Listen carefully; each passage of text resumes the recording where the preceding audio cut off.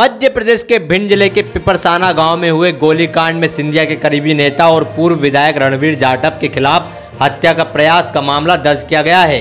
दो पक्षों में हुई गोलीबारी के मामले में रणवीर जाटव सहित पाँच लोगों को आरोपी बनाया गया है।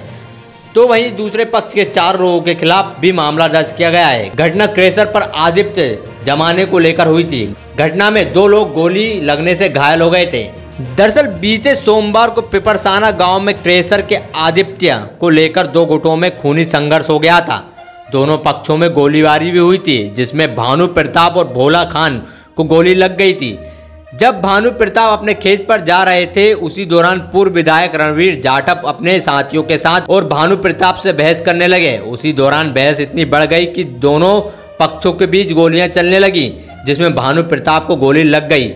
जिसके बाद भानु प्रताप को तुरंत अस्पताल में भर्ती कराया गया। आपको बता दें कि पूर्व विधायक और बीजेपी नेता रणवीर जाटव केंद्रीय नागरिक उड्डयन मंत्री ज्योतिराज सिंधिया के खासम खासों में एक हैं। गोहद सीट से विधायक रह चुके हैं। साल 2018 में उन्होंने कांग्रेस के टिकट पर चुनाव जीता था, लेकिन सिंधिया के बीजेपी में आने के बाद वह बीजेपी में आ गए थे।